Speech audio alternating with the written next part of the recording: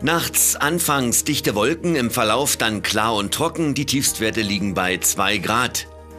Am Dienstag längere Zeit heiter oder sonnig, später wolkig, aber es bleibt trocken. Dabei gibt's eine kräftige Erwärmung auf rekordverdächtige 20 Grad. Der Wind weht allerdings frisch und heftig mit teils stürmischen Böen. Am Mittwoch und Donnerstag freundlicher und meist trockener Wechsel von Sonne und Wolken bei Höchsttemperaturen bis 17 Grad. Am Freitag sind dann neben sonnigen auch wolkige Abschnitte und zeitweise Schauer möglich.